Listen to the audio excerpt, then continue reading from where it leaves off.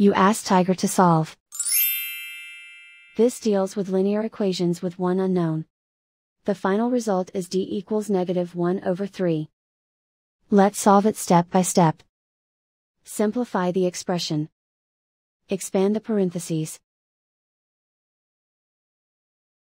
Group like terms. Simplify the arithmetic. Group all constants on the right side of the equation. Subtract 3 from both sides. Simplify the arithmetic.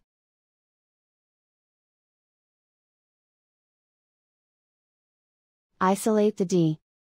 Divide both sides by 9. Simplify the fraction. Find the greatest common factor of the numerator and denominator. Factor out and cancel the greatest common factor.